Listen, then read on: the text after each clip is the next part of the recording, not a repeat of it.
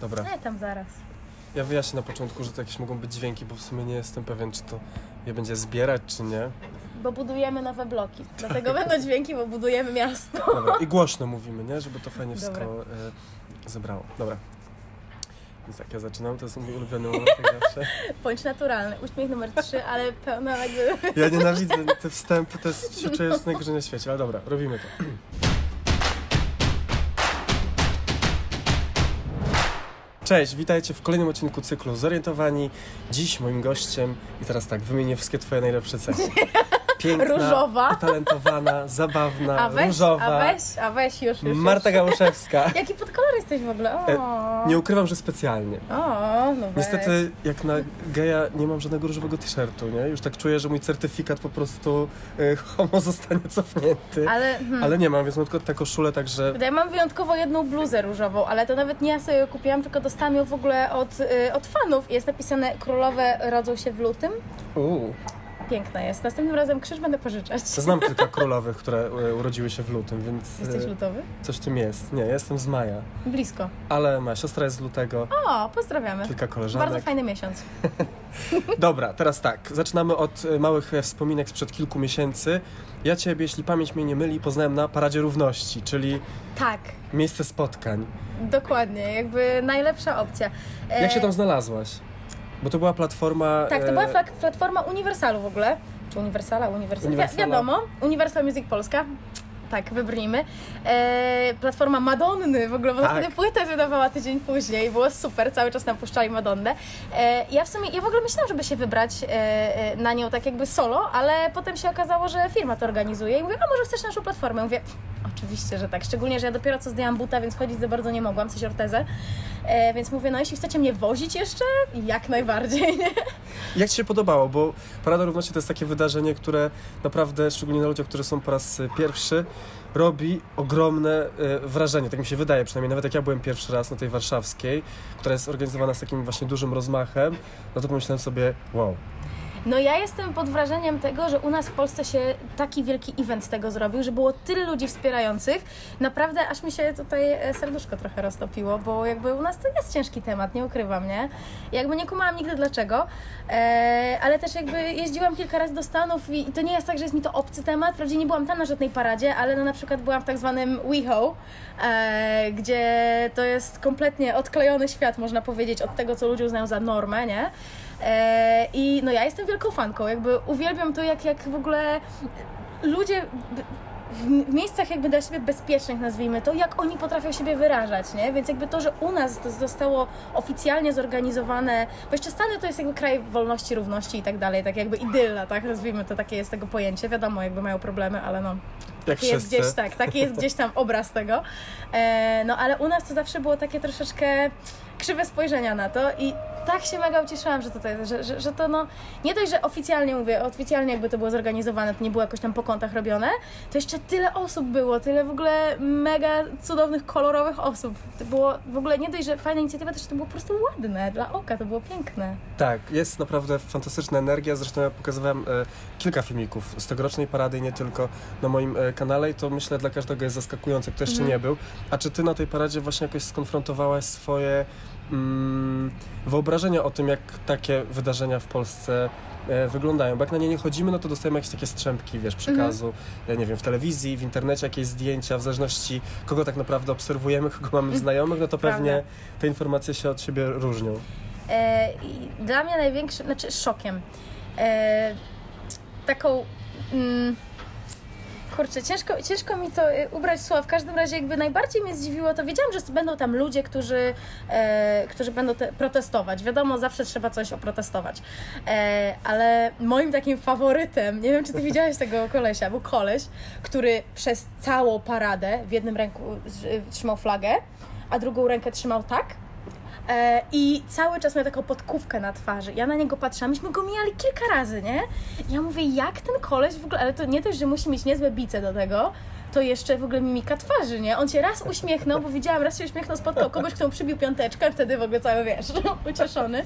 Ale tak, to no, podziwiam wytrwałość, nie? Ale to widzisz, też pokazuje, nie? że ktoś podszedł, przybił mu piątkę, jakby taką sympatią zareagował na coś e, negatywnego i nawet to potrafi... Ale nie, wydaje mi się, że mu przybił piątkę, bo, nie, że popierał. bo on popierał go. Tak, A, tak, tak, okej. tak, tak. To Ja było rzeczywiście w tym, w swoim idealistycznym rekrutować- podejściu. No, niestety, on próbował rekrutować ludzi do swojego mini pochodu. Jest sporo takich stałych uczestników e, parady. Nawet ostatnio widziałem taki mem. E, Jest taka pani, która naprawdę jest od kilku, nie chcę powiedzieć kilkunastu lat, z takim kartonowym jakimś, e, nie wiem jak nazwać, dekalogiem swoim, na którym tam wiesz, e, że mm, mężczyźni obcujący z mężczyznami nie dostąpią e, No Królestwa gadasz? Niebieskiego i ostatnio... Nie widziałam jej. I ostatnio ktoś chyba założył, że ona znowu będzie.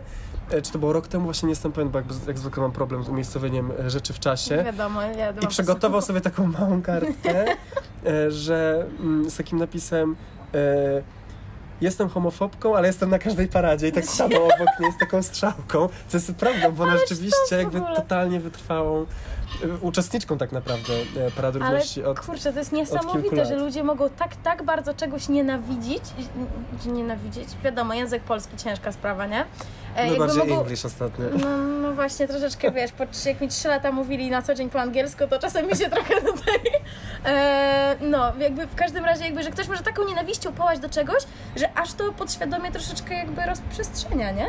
angażuje się w taki sposób, Tak, że no, wiesz, ale zobacz, nawet- z domu, robi jakieś te właśnie plakaty. Tak, no właśnie, ale zobacz, Ile ale. czasu na to trzeba Ale no, no tak, no ale wiesz, mówisz, idę na paradę równości, nie? No i jakby nikt nie patrzy na to, że idziesz z napisem jakby won, tylko jakby patrzy na to, że idziesz na paradę Jesteś. równości. Tak. No to prawda. Myślę, że w tej y, frekwencji, która z roku na rok jest coraz większa, jest takie stałe grono, które ją powiększa tylko właśnie tym, że przychodzą to e, Ale super, no pójdą z nami, trochę się na nich serp- serpentynami rzuci, może kiedyś jakby... Może się dołączą kiedyś. Może ja, ja tak, w to wierzę, rzeczywiście, rzeczywiście Ja trzymam kciuki. tak się wydarzy. Wspomniałaś o swoim e, pobycie w Stanach i ja e, praktycznie każdego swojego gościa w tym cyklu pytam o to, czy mm, jak to jest tym byciem osobą taką otwartą, e, tolerancyjną, która właśnie nie dość, że wspiera środowisko, to jeszcze jest otwarta na taką różnorodność jakąkolwiek, no bo jeżeli przyjmujemy, że jakieś takie nienawiści czy uprzedzeń można się nauczyć, no to wychodzi na to, że Można się ich też oduczyć. można się ich oduczyć, ale można się też właśnie nauczyć e, takiego myślenia otwartego e, na świat. I jak myślisz, co u Ciebie sprawiło, że ta głowa jest otwarta? Ja szczerze mówiąc nie mam pojęcia, ale myślałam w ogóle nad tym, kiedy ja się pierwszy raz w ogóle spotkałam z tą sytuacją i doszłam do wniosku, że e, mam taką koleżankę, właściwie były to moje dwie koleżanki, w sumie dalej się z nimi znam, więc nie wiem czemu czas przeszły. E, I jeszcze były czasy gadu-gadu w ogóle, więc to było bardzo dawno temu. Mam nadzieję, że niektórzy, niektórzy z Was pamiętają. Jesteśmy starzy po prostu. E, No, tak więc jeszcze za czasów gado-gado, czyli to było jakieś gimnazjum powiedzmy, e, napisały do mnie dwie koleżanki naraz tą samą wiadomość, która brzmiała mniej więcej tak, co bym powiedziała na to, gdyby jakaś moja koleżanka powiedziała mi, że jest zakochana w innej dziewczynie. Ja tak na to spojrzałam, mówię, ale, ale jak co mam na to powiedzieć? Jakby, no, życzę szczęścia, nie? Jakby nie rozumiem w ogóle skąd stres. I, I tak teraz sobie uświadomiłam po tych latach, że musiało ich to w ogóle, musiało mi mega ufać, żeby to w ogóle mi powiedzieć i że to musiało je mega dużo kosztować, no bo wiesz, jakby w mniejszych miejscowościach też się inaczej na to patrzy, tak? No Elbląg nie jest malutki, malutki, a też nie jest największy. Elbląg, e, 25 km od Pasłęka, z którego ja jestem. Odkryliśmy to jakby niedawno w ogóle. Spowinowaceni. No nie, nie zdziwiłabym się, jakby się okazało, że są jakieś połączenia. Wąsko tam.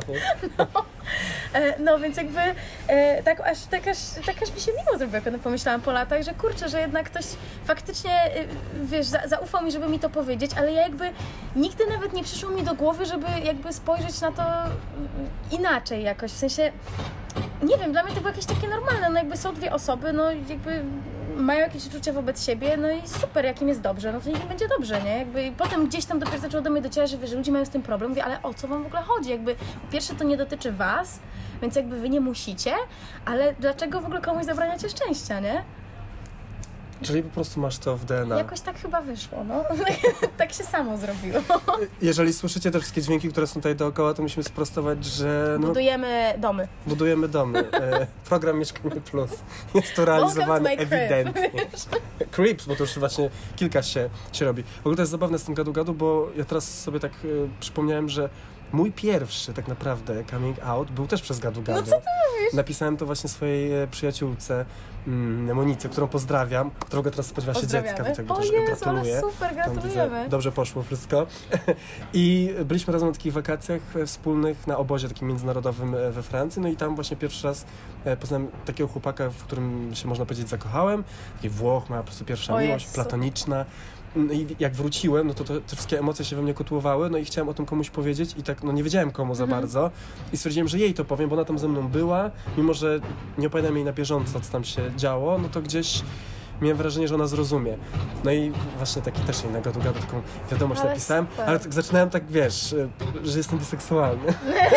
tak da, Tak dawkowałem. bezpiecznie, tak po, powolutku, Tak, w wiadomo. ogóle jest taka moda, że w liceum dużo osób e, mówi, że jest biseksualna, więc tak No, stwierdziłem, że bez, tak przynajmniej było w moim. Dziewczyn oczywiście, ale gdzieś tam się, wiesz, Nie, to ja się, to, to, to u, mnie, u mnie tak nie mówili, nie? Ale faktycznie, jak teraz myślę, to bardzo mało było osób, które się, powiedzmy, przyznawały do tego, a po latach się okazało, że dużo jest takie towarzystwo u mnie, które należy do LGBT w ogóle i jakby dla mnie to jest jakieś takie normalne chyba po prostu. Nigdy mnie to jakoś, jakby dla mnie to nie definiuje w żaden sposób osoby, nie? Biedroneczka. O Jezu, myślałam, że znowu pająk. Nie rób mi tak. Na to był rudy pająk, słuchajcie, przed wywiadem. Nie lubiliśmy go. Ups. Ale był na szczęście mały, więc przeżyłam. Tak, żyjemy. Nigdy chyba się tak nie zaangażowałam w e, odpowiedzi i w ogóle w dyskusję na, na social mediach, jak właśnie pod tym zdjęciem moim i na Facebooku, i na Instagramie, pod zdjęciem z parady, gdzie po prostu takie rzeczy ludzie wypisywali, że ja nie wierzyłam w ogóle, że może im to przejść przez, wiesz, przez gardło, przez klawiaturę. Ja po prostu byłam tak zdegustowana tym wszystkim, że aż mnie nosiło, naprawdę. Nie, no wiesz, naj, najbardziej, mnie, najbardziej mnie dobije, jak ludzie, wiesz, nie zorientują się, nie wiem, nie doczytają, nazwijmy to, i na przykład mówią, że ten plus to jest pedofilia i zoofilia. Tak, no to jest ja mówię, ostatnio bardzo mm, popularny argument Ale z w której tych dyskusjach. strony, nie? Jakby to Tak. jakby kompletnie chyba się minęliśmy z sednem całej rozmowy, nie? Generalnie najbardziej jakby oburzyło mnie chyba to, że jak już ludzie nie mają argumentów, to zaczynają to podciągać pod obrażanie wiary w ogóle. To, że ja, jak ja w ogóle śmiem bronić tych ludzi, wiesz, jakby, ale no ja zostałam wychowana w bardzo chrześcijańsko-katolickiej rodzinie y, i ja znam te wszystkie podstawy, jakby od dziecka mnie ich uczono, więc y, z tego co ja wiem, to chrześcijaństwo się opiera na tolerancji, miłości, jakby wiesz, kochaj bliźniego jak siebie samego, tego typu rzeczy. I ja tego kompletnie nie widzę w tych ludziach, którzy twierdzą, że są y, zagorzonymi chrześcijanami i jednocześnie piszą tak, no wręcz obleśne rzeczy na temat LGBT. Jakby kompletnie tego nie kupuję, więc jakby, no, ale najśmieszniejsze jest to, że udało mi się wygrać z, dwie takie wojny, nazwijmy to, w momencie, kiedy powiedziałam, no tak, ale papież generalnie mówi, że trzeba wspierać jakby to środowisko, więc gdzie jest problem? I w tym momencie, wiesz, użytkownik nagle znika, komentarze w ogóle się blokują, nie ma. Stracił argument i człowiek w ogóle po prostu, wiesz, jakby To prawda, no generalnie jak problem z y, katolikami czy z osobami, które właśnie twierdzą, że są super przykładnymi chrześcijanami i oni w imię tej swojej wiary muszą walczyć z tym, bo mm, z tym, czyli z nami, ze społecznością LGBT, bo to zagraża im e, w jakiś sposób, albo te wszystkie akcje związane z, wiesz, tęczową Maryją i tak dalej, że jakby nikt nie rozumie, że są ludzie LGBT, którzy też wierzą, jakby też szukają miejsca dla siebie tak. e, w, w kościele, w tej religii, wśród innych osób e, wierzących są nawet takie, wiesz, stowarzyszenia typu Wiara i Tęcza. I oczywiście to można potem zestawiać z cytatami z Pisma Świętego, z tą Sodomą i Gomorą, która po prostu się przewija we wszystkich słyszałam, komentarzach no, i już no, tutaj no. niektórzy wieszczą, że przez to, że Rafał Trzaskowski objął patronatem e, paradę, to tu zaraz, wiesz, miasto spłonie Jezu. albo zostaną ściągnięte jakieś plagi, przysięgam. Jezu. Ja, e, ja No wierzę smutno. przynajmniej w to, że ludzie nie piszą tego na poważnie, aczkolwiek tak naprawdę Ciężko nigdy tego się powiedzieć. e, nie dowiemy. Natomiast no, dla mnie jakby granicą y, akceptowania ludzi, czy zjawisk, czy czegokolwiek jest y, krzywda, nie? Drugiej Mhm. osoby. Więc jeżeli ktoś sobie żyje, nie robi nikomu krzywdy, to jakby co nam do tego? Słuchaj, dla mnie człowiek to jest człowiek. I to tak samo ja, ja zaczęłam pisać i mówić, że dla mnie to jest taki rasizm, tylko w nowej odsłonie tak naprawdę, bo równie dobrze, tak jak ludzie się czepiali koloru skóry przez, przez wieki, tak teraz się czepiają orientacji. Zawsze coś znajdą, co im nie pasuje, tak? W ogóle Natalia Nykiel pięknie powiedziała na swoim koncercie, bo e, zaczęła śpiewać e, Born This Way w ogóle Tak. e, na Kraków Live ją widziałam. I e, nie, nie wiem, czy ty wtedy, czy, czy, czy, czy, ty tam byłeś, czy słyszałeś, ale ona Tak, tak. zaczęła tak. ona zaczęła mówić, że e, ci ludzie to są jedni z najpiękniejszych i najlepszych, jeśli chodzi o serce ludzi, jakich ona zna. I że nie rozumie w ogóle, dlaczego, dlaczego jak w ogóle może być nietolerancja wobec, wiadomo, to nie słowo słowo, jakby to jest moje jakby zrozumienie tego, e, skoro oni nikomu nie zrobili krzywdy, a to są jedni z najcieplejszych ludzi, jakich ona zna, naprawdę. I ja to kompletnie popieram, no bo mówię, jest bardzo dużo osób z tego środowiska wokół mnie i to są naprawdę moi bliscy przyjaciele, więc jakby, no, w ogień za nimi bym poszła, no. Więc Miejmy nadzieję, że w ten ogień nie- będzie trzeba e, skakać, też ale mam taką w nadzieję. razie czego e, będę dzwonił. Dobra, wiesz gdzie, mnie, wiesz gdzie mnie znaleźć, Teraz już wiesz wiem. gdzie mieszkam w ogóle. Słuchaj, to teraz przechodzimy do części równie wesołej, kolorowej, czyli do Twojej e, kariery muzycznej. Ostatnio e, Twój e, utwór, e, znaczy Twój, źle to powiedziałem, utwór, w którym wystąpiłaś gościnnie, Tak. no tam dobre wyniki wykręca na, No na właśnie. YouTubie. Ja jestem super szczęśliwa, bo dawno się tak nie wydarzyło. E, jakby pozdrawiamy Kaena przy okazji. E, tak, utwór nazywa się Uwaga, lokowanie produktu Perfekcja. Zapraszamy na e, Vevo, na Spotify i na takie tam rzeczy. E, tak, i jest on, e, jakby co jest na kanale Kaena, w sensie Alterego, nie moim, jakbyście mieli problem ze znalezieniem. Podlinkujemy. Super. E, no, więc jakby ja bardzo się cieszę, że mogłam być tego częścią, bo nie dość, że bardzo mi się podoba ten numer, e, to jeszcze no, dawno nie było takich liczb. Tam jest już półtora miliona. Mega No. się cieszę. I radio zaczęło tak generalnie, znaczy delikatnie Podłapało. podgrywać tam, wiesz, może, może. A to jest fajna tendencja, nie? Jak z internetu do radia przychodzi, No. bo generalnie mam przynajmniej takie e, wrażenie, to jest najczęstsze słowo, jakiego używam Wrażenie? kanale, że mam wrażenie. Wydaje mi się, że kiedyś radio było zamknięte na te internetowe fenomeny, a teraz jakby nie ignorują tego, nie? Ale że to przypadkiem tak Konafide pojawia. trochę nie otworzyło takiej właśnie tutaj tego przejścia? Bo Oni tam Tak, generalnie myślę w ogóle raperzy, nie? No. Że widząc wyniki, które oni wykręcają w sieci, Ale to no to jest ciężko super, przejść no. obojętnie. No właśnie, no jakby ja bardzo, ja bym chętnie y, y, zaczęła, wiesz, działać tak jak tacy raperzy, żeby po prostu wrzucać to wszystko i zobaczyć co zażre, ale to nie jest takie proste, powiem Ci. Jakby oni to mają dobrze przekminione. E, no, e, no poszła ta pioseneczka, tak. E, mam nadzieję, że jeszcze będzie się troszkę kręcić, bo e, no jakby no lubię, no. E, I też dawno mnie tam nie było w tym radio. No a co, co oprócz tego, bo jeszcze jest, wiesz, jeszcze wyszła epka, która tam nikt ani w sumie nie pamięta, nie? A ja ją nawet lubię i tak trochę, trochę smutek. No właśnie, jak to jest y, z y, tym twoim podejściem do showbizu i tej twojej kariery? Jak ta konfrontacja wyglądała twoich takich mm, gdzieś założeń czy wyobrażeń, jak to będzie wyglądało z tym, co faktycznie potem, czy po programie, czy po kolejnych jakichś takich etapach, które przechodziłaś, się wydarzyło? Ja dalej nie rozumiem, to na pewno, bo to jest coś, z czego nie da się tak szybko ogarnąć. E, jakby te całe zasady działania i tak dalej, to jest kompletnie nie na moją głowę. Widzisz, ja używam z kolei kompletnie, więc jakby... e, no, ale, znaczy tak, trzeba przyznać, że jak na to, że jestem z Voice'a, e, to bardzo dobrze to wszystko poszło.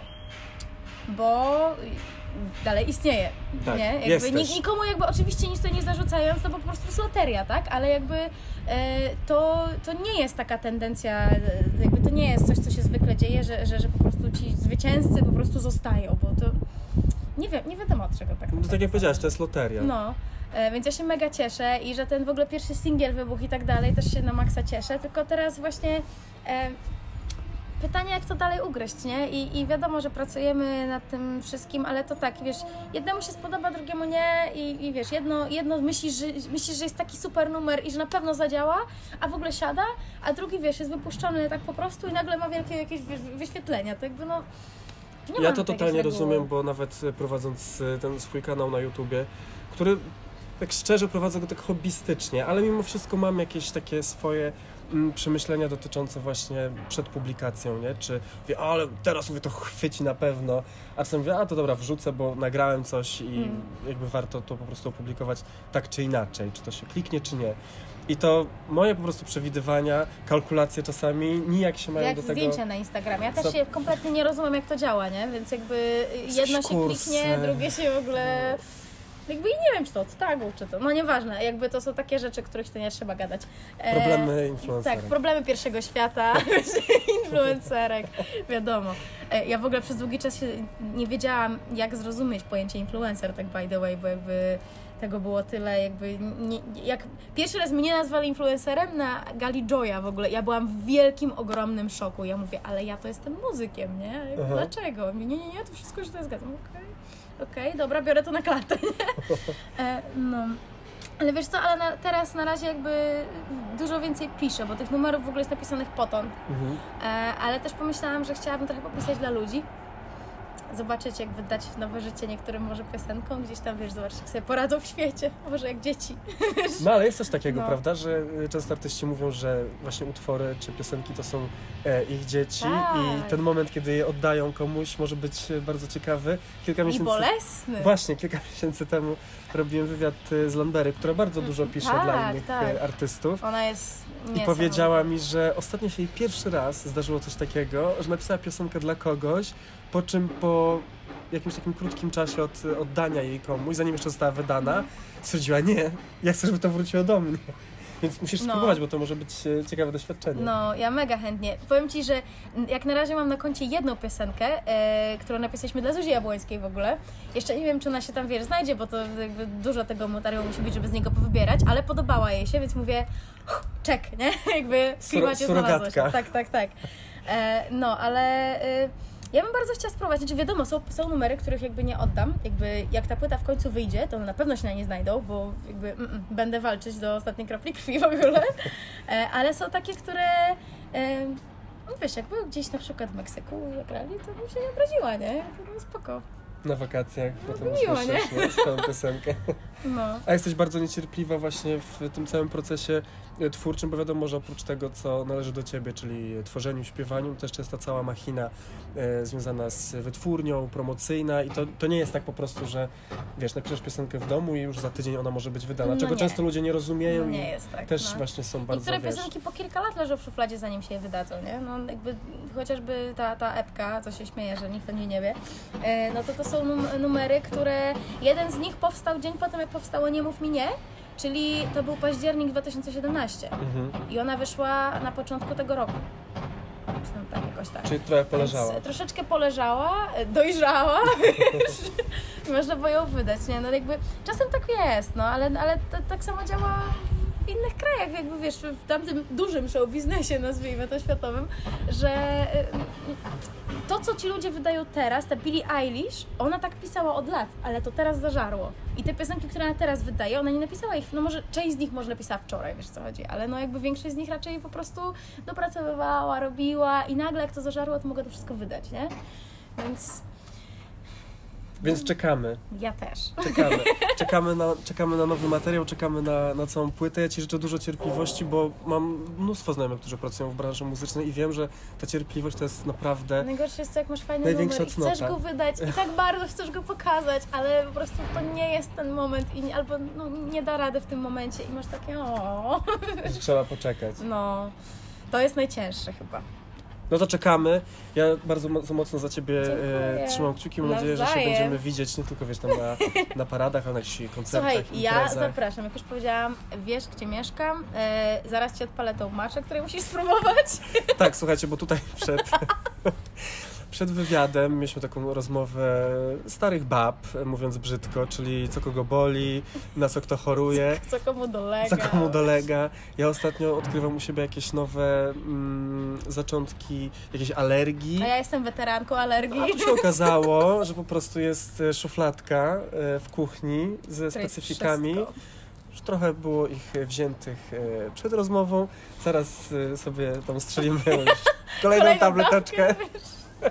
No. I wszystko będzie super. Bardzo Ci dziękuję za to, że udało nam Dziękuję. się Bardzo e, się cieszę, że mnie tutaj wziąłeś. porozmawiać. Naprawdę. No to przyjemność po mojej stronie. Zapraszam. I teraz Cześć. tak, zadanie dla Was. Kto jeszcze, tak, po pierwsze, nie zna epki, to jakby ludzie orientujcie się. W końcu Reasons, nazywa się Reasons. Program zorientowani, więc warto się orientować w wielu kwestiach. Także słuchamy, sprawdzamy nowy numer z y, KN-em i widzimy się w kolejnych odcinkach, widzimy się na występach Marty. I oglądamy wszystkie inne odcinki, wiadomo. Dokładnie, więc ja już Trzeba tutaj... być zorientowanym. Pan intended. Tak, także dzięki wielkiej, do zobaczenia. Jezu, znowu to robię, ja to jest, Ja zawsze wiesz, że ja nie wiadomo co zrobić, to robię to to jest kapitan po prostu, ahoj. Ja muszę, w ogóle to mogę przejąć, to jest spoko, to jest takie Tak? ziomalskie, Dobra, wiesz? dobra, to ja, ja przestanę to robić. Także Nie, to na... ty możesz przejąć. A, ja serduszko, dobra, to teraz to jest do zobaczenia, a ja zrobię serduszko. No to, moi drodzy, do zobaczenia.